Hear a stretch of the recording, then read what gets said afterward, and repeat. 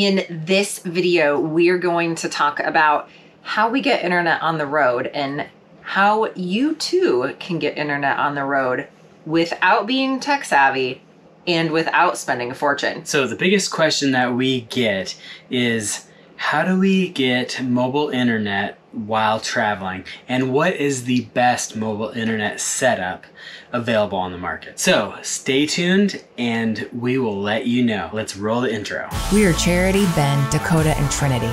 We decided we didn't want to wait for a life of adventure. So in 2017, we bought our first RV and set off to live a life of travel in the USA. We've visited over 38 states in three years and have many more to go. Follow along to learn all the best places to see, RV and travel tips, and much more.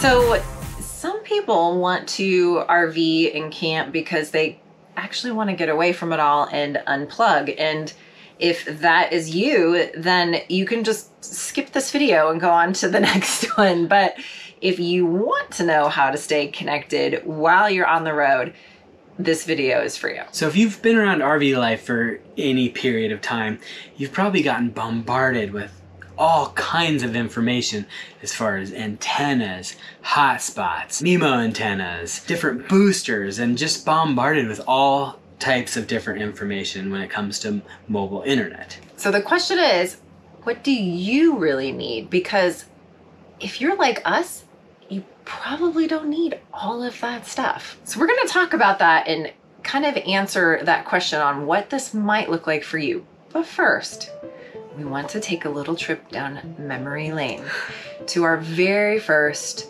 time we ever went out in our RV. And we didn't know what we didn't know. But what we did know was that the campground that we were going to be camping at said that they had Wi Fi. So we figured free Wi Fi. Perfect.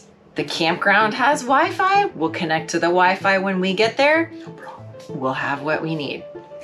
Didn't work out that way that very first campground we ever stayed at was actually sharing Wi-Fi with the casino next door. And let me tell you, it just did not work out so well. And we burned through the data on our phones just like that very, very quickly. And what we also learned was the very next campground we went to didn't have good Wi-Fi either, nor did the campground after that. Yeah. And so we learned very quickly and unfortunately we could not rely on campground Wi Fi to keep us connected as we were living the RV life. So that precipitated a little bit of a journey to figure out the best solution for what we needed for internet. Everyone's going to have a different need for mobile internet. Our needs might be different than your needs, and full time RVers might be different than part time RVers.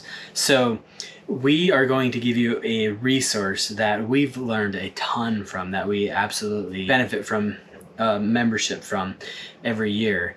And we're going to go ahead and give that to you in a minute. So, unless that you're a digital nomad, meaning that you are actively working from the road or that you have a need for a lot of bandwidth or data usage, you probably don't need the big elaborate setup with the WeBoost and all of the antennas on the roof that would make it look like that you're still in contact with your home planet. you probably just need a very simple solution and that is what we have is a very simple solution. So if you check out the Mobile Internet Resource Center at rvmobileinternet.com, we've got the link below for you. They can give you great options on different plans, different equipment that will fit what your needs are. There's a ton of videos on all of the fancy stuff. It can get confusing. Do yourself a favor, go to them, check it out, and you'll be able to determine what you need for your particular situation and what it is you're doing and how you're choosing to live RV life. Yeah, in the resource, these guys eat, sleep, and breathe RV mobile internet. So they have in-depth tutorials and videos on every single subject that you'd ever need to know. So we're going to cover a broad spectrum that works for us and that might work for you.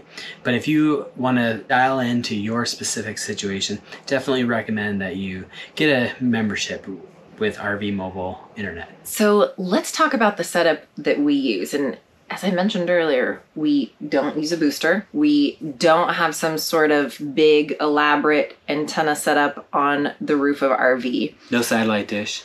No satellite dish. No any sort of anything that would indicate that we're still in communication with our home planet. So our setup is actually very, very simple and it consists of three things. So, number one, we have a Verizon jetpack that has a Verizon plan. Now, the plan that we have on this isn't available anymore, so it wouldn't really do us much good to talk about that. But there are lots of different data plans that you can get through Verizon. If you check out the Mobile Internet Resource Center, they can go over all of the different plans that Verizon has and what might be best for you and what your needs are. So, this is our main device that we use for internet. Hey there, we wanted to interrupt this video real fast to just give you a couple of resources you don't want to miss out on. First is our free trip planner. So make sure that you go to gratefulglamper.com forward slash planner to download that free trip planner. Also, we have a ton of stuff over on our Patreon channel. We would love to have your support over on Patreon as well. And one last thing is we are getting started with Discord. So, Discord is a great way for us to be able to just kind of keep in touch with you guys more often. So, check that out at gratefulglamper.com forward slash Discord. Now, back to the video. Number two, we wanted to have a backup option because for us, when we travel, we need to upload 4K video to YouTube for you guys. And then let's just tell them about why that we decided we needed a backup yes, after you were in that back alley in Page, Arizona, behind some coffee shop trying to Oh, upload yes. a video yes, when yes. our first device took a poop on us. Yep, never again will I have only one device.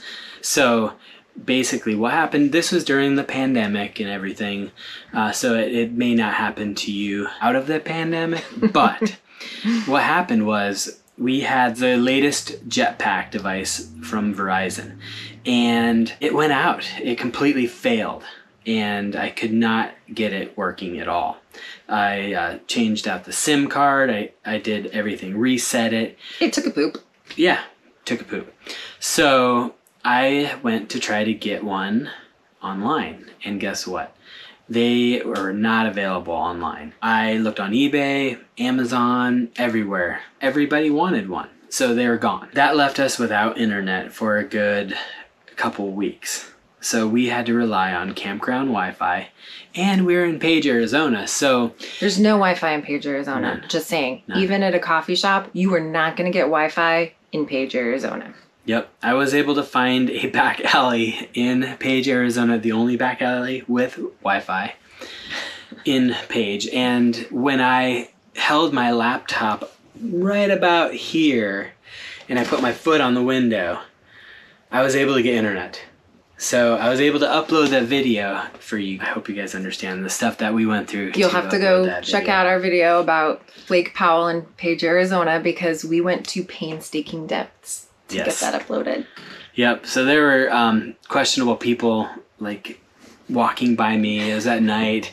I have my laptop in my hand, and so uh, needless to say, I will never be without a backup device. So what we decided to do is have a Verizon service with the Verizon MiFi. The second device I have is this travel data device, and uh, this is a T-Mobile service, and they provide the wireless router and the service all in the subscription and i'll put a link down in the comments below to this particular plan that we're on and it's been great we use the verizon jetpack charity and i and then we let the kids uh, stream their YouTube and, and other stuff off of this device. So that way um, they're not taking up my bandwidth. We've got some redundancy in internet.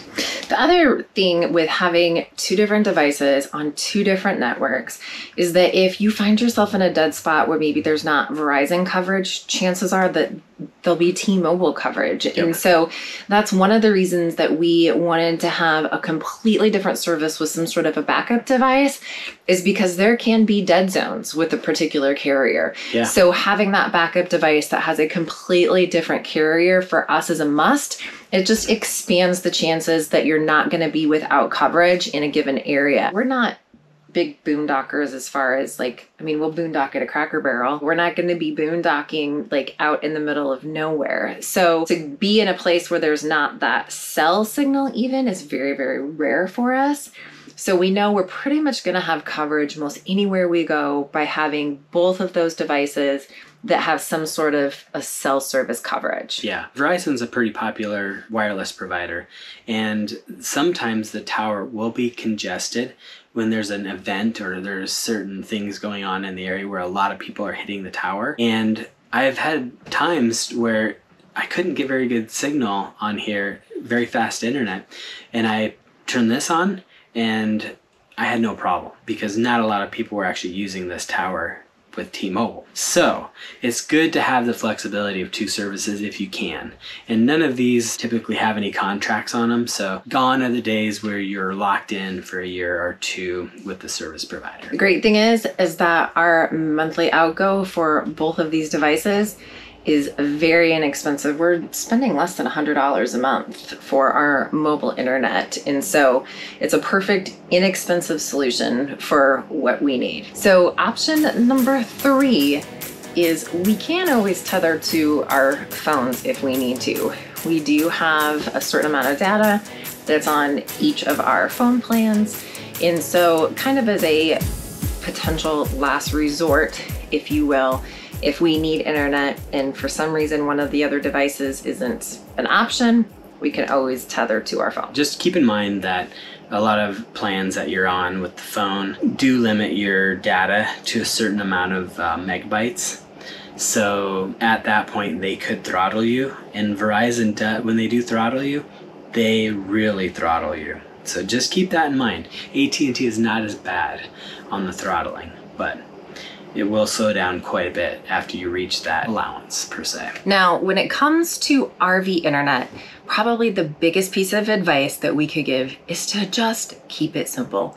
You do not have to go with the big elaborate setups if you are not somebody that is just, you know, essentially broadcasting live TV from inside of your internet. You can do probably most everything that you need to do in RV life with a very simple setup. One thing that we have, again, very, very simple setup is we have this MIMO antenna. So our Verizon Jetpack, this plugs into this. If we are in an area where we feel like we have a little bit of a weak signal when it comes to cell service, plugging it into this and then just suction cupping this to whatever window in the RV is giving us just that little bit of a boost for signal can help with some increased speeds. So this is less than $60 on Amazon and we'll put a link below to that and then also to the Verizon Jetpack. But this whole particular setup costs under $300 for just the equipment. So very minimal cost to get started with mobile internet and you don't have to be a internet tech savvy person to be able to hook this up. So we'd love to know what questions you have about mobile RV internet. So feel free to leave your comments below and uh, ask the community and us what questions are on your mind. We'd love to respond to each of your questions. So just drop those in the comments below and we'll definitely get back to you. Also, make sure that you check out our free trip planning guide. It is trip planning season. So you can find that at gratefulglamper.com forward slash planner. It is a free template that we put together for you guys. So make sure that you take advantage of that free download on our website. And don't forget to hit the thumbs up button and subscribe and hit the bell if you are a new viewer. That way you get notified every time we release a new video. We have tons of super fun videos coming up, some videos by viewer request. So make sure that you've hit that little bell and then you just get that notification from YouTube that a new video has been released. Thanks for watching, and until next time, we'll, We'll see you on the road.